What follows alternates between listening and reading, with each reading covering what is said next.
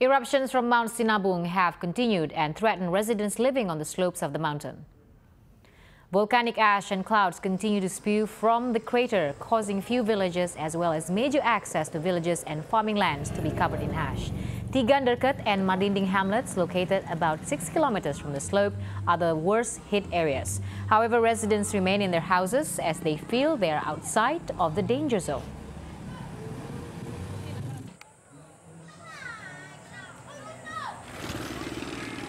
Kalau yang paling tebal kali kayak gini udah ini dua kali. Dua kali nih Pak, ya? satu hari ini.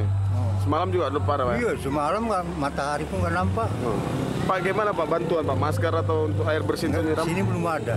Gak ada bantuan untuk nyiram. Belum, iya. Masker Pak?